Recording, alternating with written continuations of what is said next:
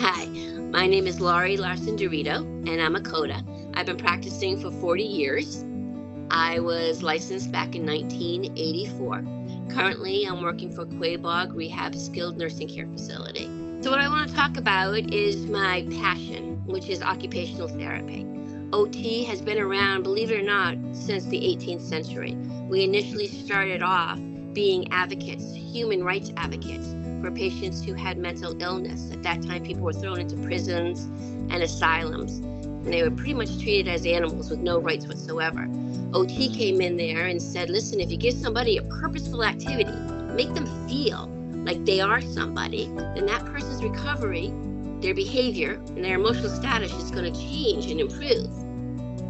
At that time, we started to evolve and we became more familiar in World War II were actually sent out there to help soldiers who were wounded and give them, again, purposeful activity, making them feel that they are part of society no matter what challenge that they incurred.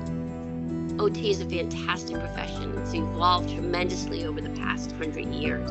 When I first started 40 years ago, um, primarily it was used with mental health. As an OT, I become a team member with my patient and their family because my main job is to get that person back to where they were prior to some sort of traumatic event, whether that be physical, mental, emotional, or developmental.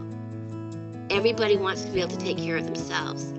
Everybody wants to be productive in their community. Everybody wants to feel wanted. And when something traumatic happens to you, again, whether it be physical, mental, emotional, developmental, you lose that opportunity, that identity of who you are.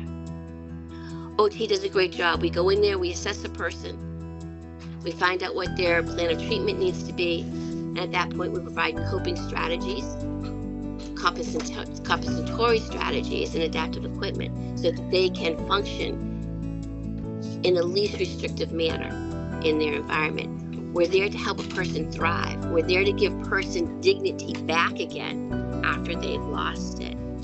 I always say to my patients, don't tell me you can't do something. Ask me, how can I do something? That's what OT truly promotes is the humanity aspect that everybody, no matter who they are, where they are, what their beliefs are, what they look like, what their capabilities are, are part of an inclusive environment.